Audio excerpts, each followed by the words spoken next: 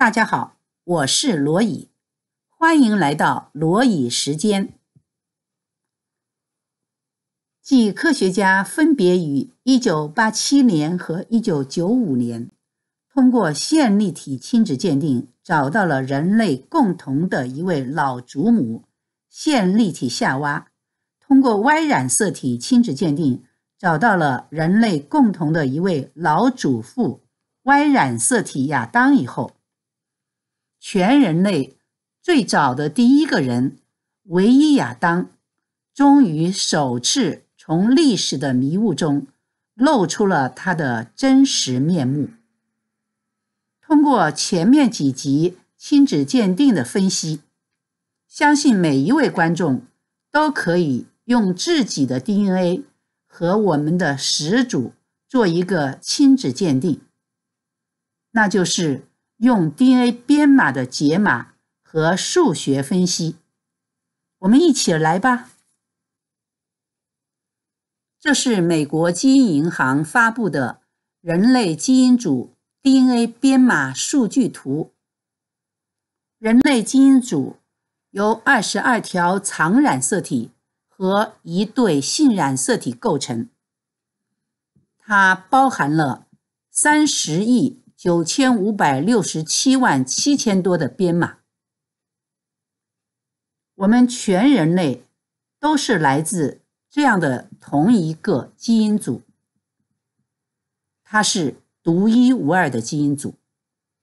相同的基因组才可以做亲子鉴定，不是相同的基因组是不能够做亲子鉴定的。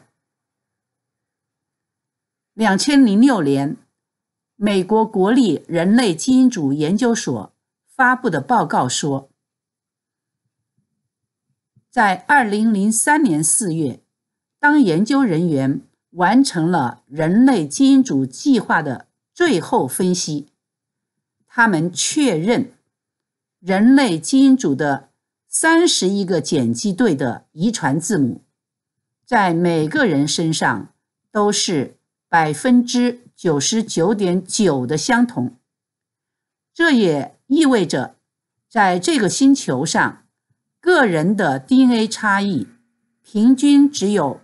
百分之零点一，也就是我们常说的千分之一的差异。这是来自编码的解码和数学分析的结论，是成千上万科研人员辛勤努力的结果，也是数以亿计的金钱换来的成果。我们知道，夏娃理论。亚当理论都是基于 DNA 编码的解码和数学计算分析的结果。数学为什么这么权威？因为数学是 DNA 解码的有力武器。数学能最深刻、最直接的表明哪些是不可能发生的假说，哪些是必然发生的事实。因为。数学是科学的女皇。在前面的数学计算分析中，我们看到两组三十个相同编码是不可能随机产生的。线粒体夏娃的一万六千个编码，Y 染色体亚当的七二九个编码，都是不可能在第二个人身体中。随机产生的，这些都是科学女皇、数学法官的判决。下面，我们仍然请数学法官来计算，在我们人体的二十二条常染色体中的二十九亿 DNA 编码是不是能随机形成？我们人体二十二条常染色体，男女没有区别。所包含的三十亿 DNA 编码，百分之九十九点九都是相同的，所以不可能经由随机进化过程使每个人都是一样的。当然，这也不能够凭想象，我们仍然要请数学法官来裁决。下面这个公式是一个很简单的公式，相信每一个中学生都可以来验证这个公式，并且理解意味着什么。因为我们之前已经计算过，三十个两组相同的编码就不可能自然的随机产生。那么，二十九亿的编码怎么可能随机产生呢？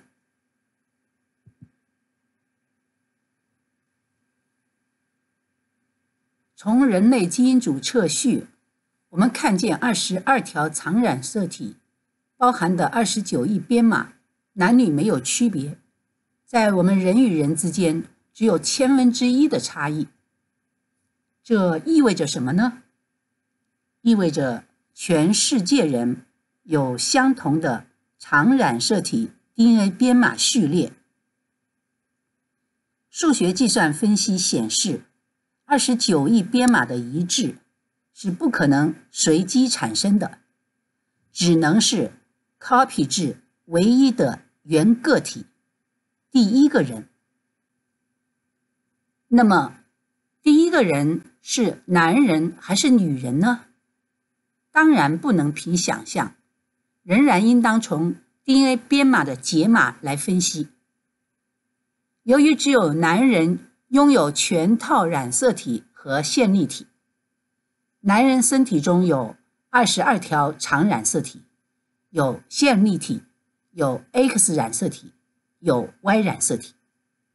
因此，从编码的解码看见，第一个人是男人。这就是唯一亚当理论。全世界人出自最早的一个男人，第一个女人只能是出于这个男人。这是 DNA 亲子鉴定的结果，是出于你我 DNA 编码的解码和数学的结论。唯一亚当理论是可以从。我们身体中看见的科学理论，也是第一次从 DNA 中看见了我们的始祖唯一亚当。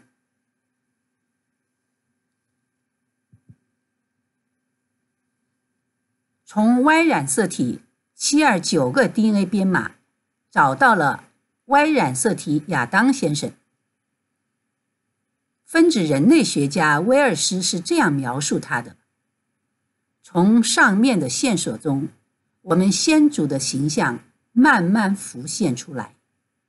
如果他穿着西装，在火车上坐在您对面的话，您是不会认出他来的。那么，从你我的常染色体 DNA 亲子鉴定找到的这位全人类第一个人。唯一亚当先生的形象会是什么样子呢？相信看了前面内容的朋友，已经可以做亲子鉴定分析了，都会从 DNA 编码的解码和数学分析给出这样的答案：全人类的始祖唯一亚当先生，如果他穿着西装在火车上坐在您对面的话。您是不会认出他来的，因为全人类身体中的二十二对常染色体 DNA 编码、X 染色体 DNA 编码、线粒体 DNA 编码，以及男性的 Y 染色体 DNA 编码，都是从它复制而来。严格说，应该是它长什么样，我们就长什么样。人类始祖。唯一亚当先生的 DNA 编码千分之九百九十九以上和你我都是相同的，和我们的编码差异不到千分之一，这是可以检测的。总之，人类始祖唯一亚当先生就像你我的一位邻居老伯，因为什么样的？编码序列传递什么样的信息什么样的信息长出什么样的形体。请看小节